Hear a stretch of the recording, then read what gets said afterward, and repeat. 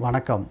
ஆசிரியரின் அன்பு செல்லங்களே இன்று உங்களுக்கு ஒரு கதை சொல்லப் போகிறேன். மகிழ் விரும்பி ஒரு பள்ளிக்கூட மாணவன் அவனுக்கு ஒரு தவறான பழக்கம் இருந்தது. அடுத்தவருடைய பொருள்களை எடுத்து வைத்துக்கொள்வான் அவர்கள் அல்லல் படுவதை பார்த்து ரசிப்பான். பரிதவித் அதை பார்த்து ரசிப்பான். இந்த பழக்கம் நாளுக்கு நாள் வளர்ந்து கொண்டு வந்தது. கடைகளுக்கு செல்லும் பொழுது கடைக்காரனுடைய கவனத்தை திருப்பி எதையாவது ஒன்று பொருளை எடுத்து வைத்து கொள்வான் எடுத்து வந்து விடுவான். இதில் அவனுக்கு ஒரு இன்பம் இருந்தது. இது தவறான பழக்கம் என்பதை அவன் உணரவில்லை. இவனுக்கு ஏதாவது ஒரு வகையில் பாடம் புகட்ட வேண்டும் என்று அவனுடைய நண்பன் நலம் விரும்பி எண்ணிக்கொண்டிருந்தான். அதற்கான தருணம் வந்தது. இன்று ஒரு மளிகை கடைக்கு நலம் விரும்பி போனான். அங்கு அந்த மகிழ் விரும்பியினுடைய அலைபேசி அங்கிருப்பதை கண்டான். எடுத்து வைத்து கொண்டான். சிறிது நேரத்தில் அந்த அலைபேசிக்கு அழைப்பு வந்தது. இவன் அதை எடுக்கவில்லை. இரண்டு மூன்று முறை வந்தது. இது மகிழ் விரும்பி தான் அழைக்கிறான் என்பதை அவன் தெரிந்து கொண்டான். மகிழ் விரும்பி அவனுடைய நே- நே- மனநிலையை பாருங்கள் எப்படி இருந்திருக்கும். அது ஒரு விலை உயர்ந்த அலைபேசி. அவனுடைய அப்பா இவனுக்கு இந்த ஆன்லைன் வகுப்பு என்று சொல்லக்கூடிய கணினி வழிய வகுப்புக்கு வாங்கி கொடுத்திருந்தார். இன்று அந்த கணினி வகுப்பு வேறு இருக்கிறது.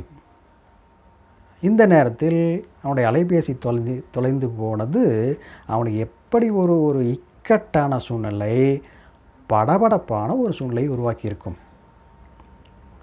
நண்பர்களுடன் அலைபேசி ஃபோன் பண்ணி கேட்குறான் நேரில் போகிறோம் அங்கே போகிறோம் இங்கே போகிறோம் கடையில் வந்து கேட்குறாங்க என்னோடய ஃபோனை பார்த்தீங்களான்னு அவரும் நான் பார்க்கலையப்பா அப்படின்னு சொல்லிட்டாரு. பாருங்கள் அவனுடைய மனநிலை எப்படி இருக்குன்னு பாருங்கள் கொஞ்ச நேரத்தில் நலம் விரும்பி மகிழ் விரும்பியோட வீட்டுக்கு வந்தான். டேய் இந்தாடா உன்னோட ஃபோன் நான் அங்கே வந்து கடைக்கு போயிருந்தேன். அங்கே இருந்துச்சு நான் எடுத்துகிட்டு வந்துட்டேன். சரி நான் தான் கூப்பிட்டுனடா நீ எடுக்கல? உனக்கு பாடம் போகட்டும்னு நினச்சேன். ஏன்னா நீ வந்து பல நாட்கள் பலருடைய சிரமங்களை நீ பார்த்து ரசிச்சிருக்கிற. நீ வந்து திருந்த வேண்டும். இது வந்து இந்த திருட்டு எண்ணம் இது தவறு. திருடு அடுத்தவர்களுடைய பொருளை திருடுவது தவறு என்று உனக்கு உணர்த்தவே நான் உன்னுடைய ஃபோனை எடுக்கவில்லை. ஆகவே இனி இவ்வாறு நீ செய்யாதே என்று அவனுடைய அலைபேசியை திருப்பி கொடுத்தான். மகிழ் விரும்பியும் சரிடா நலம் விரும்பி மற்றவர்களுடைய மனம் எப்படி அல்லல்படும் சிரமப்படும் பதை பதைக்கும் என்பதை நான் இன்று அறிந்து கொண்டேன். நான் இனிமேல் இவ்வாறு செய்ய மாட்டேன். இந்த திருடும் எண்ணத்தை நான் கைவிட்டு விடுவேன் என்று அவன் இவனிடம் உறுதியளித்தான். இதைத்தான் ஐயன் கூட சொல்கிறார்.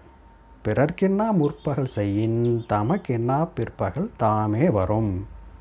புரியுதா குழந்தைகளே? ஆக அடுத்தவனுடைய துன்பத்தை பார்த்து நம்ம மகிழ்ச்சி அடையக்கூடாது. அடுத்தவருடைய பொருளை திருடும் எண்ணம் நமக்கு வரக்கூடாது. எப்படி கதை உங்களுக்கு பிடித்திருந்ததா சரி இதை சிந்திப்போம். உங்களோட பகிர்ந்து கொண்டதில் எனக்கு மகிழ்ச்சி. நன்றி வணக்கம்.